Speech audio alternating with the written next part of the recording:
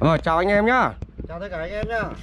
Thì Hôm nay à, ở đây là mình có một con đến nhà anh Nghĩa chơi thì Đây là có một con ngan à, ta 2 cân. Thì Hôm nay anh em mình sẽ đánh à, chủ tài đánh tiết canh bằng à, Odezone cho anh em xem nhá. Nếu các bạn bác nào mà không hãm được bằng muối ấy, Mà muốn tiết nó vẫn đỏ tươi thì hãm bằng theo cái cách của bọn anh em bọn tôi nhá. Hãm bằng Odezone Rồi đối với hãm bằng à, Odezone thì anh em sẽ cho mình vào đây khoảng nửa muôi nước nhá đây, nửa muôi nước và khoảng một nửa thìa Odezone này. Đấy. Chúng ta đánh tan lên.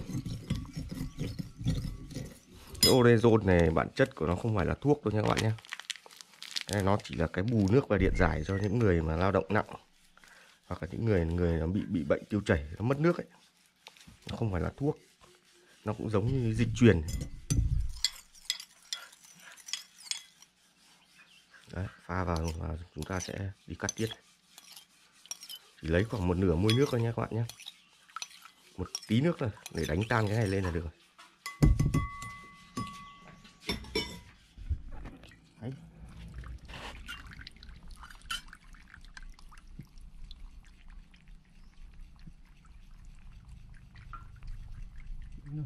Ờ.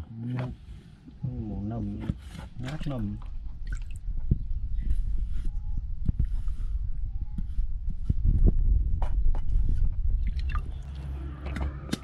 Vâng thì đối với cái cái, cái loại ganta này các bạn các bác này thì nó nó sẽ không bao giờ nó, nó to được khoảng độ ờ, 3 4 cân đâu.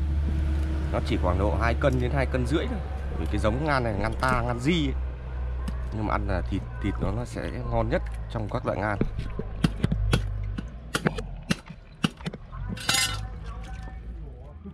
Vâng, đây đây là cái tiết của con con gan này các bạn này.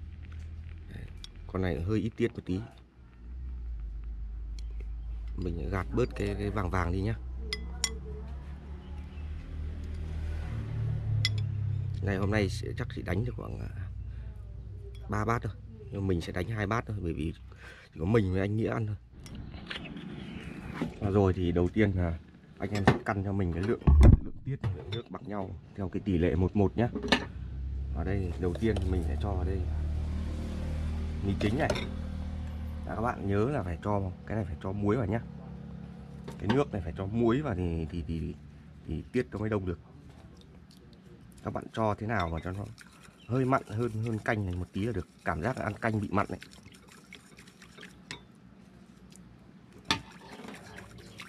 các bạn đánh tan đánh tan ra cho mình nhá.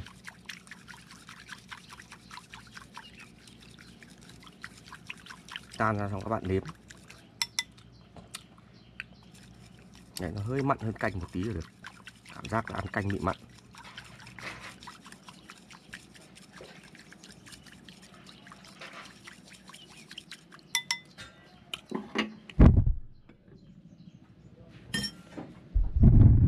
Rồi. Và mình sẽ cho vào đây nhá tỷ lệ một một nhá cắt này bỏ đi. Nó mình sẽ đánh đều lên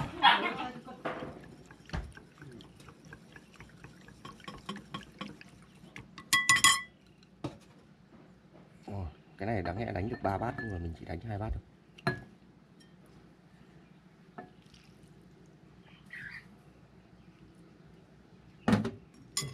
Đấy thì đối với cái hãm Odezone này anh em không được quên là phải cho muối xuống nha. Cho muối hơi mặn một tí thì tiết nó sẽ đông đông nhanh.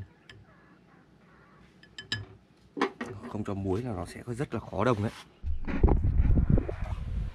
Vâng đây à, tôi với anh Nghĩa hôm nay là mỗi người một bát này, này anh em này Đấy, đông luôn này. Đấy các bác nào mà không hãm được muối nhá không hãm được bằng muối thì đánh theo cách của anh em chúng tôi nhá thì nó sẽ đỏ tươi hơn mắm.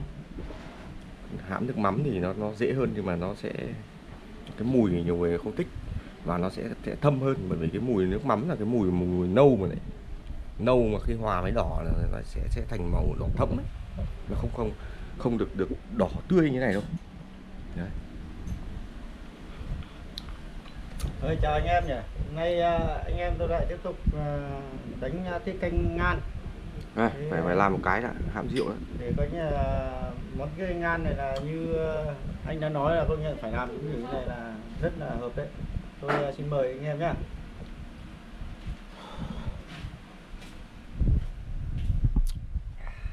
Tôi thử miếng kia này. Ấy à. Này. Đây anh em nhìn xem, đông luôn đông cứng luôn nhá này. Rồi mời anh em tất cả nhá.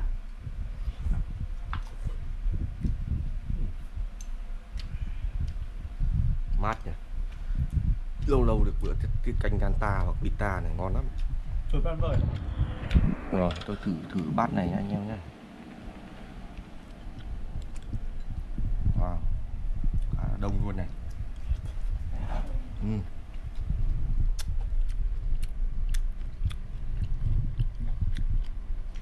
Mà rất là ngon luôn. Đông cứng luôn thật. Ừ. nước mấy rất tuyệt vời đấy.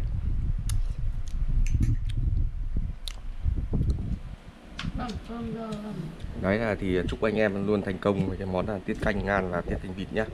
Ở đây mình không có nó chỉ có một tí nước ở dưới thôi không có nhiều nước. Đấy, đánh theo cách của mình thì luôn thành công khoảng 100 phần trăm luôn Đấy, tôi phải làm đến nữa này.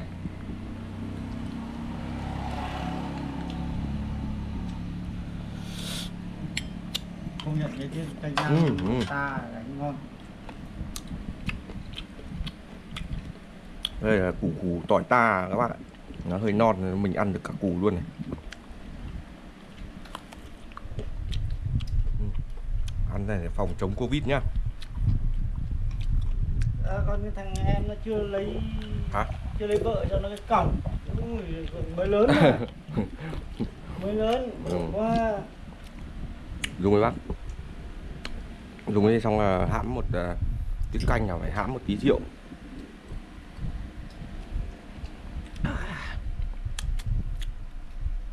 à, ngon thật đấy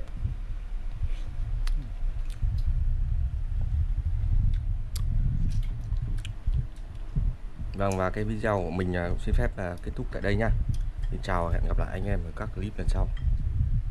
Chào nhá.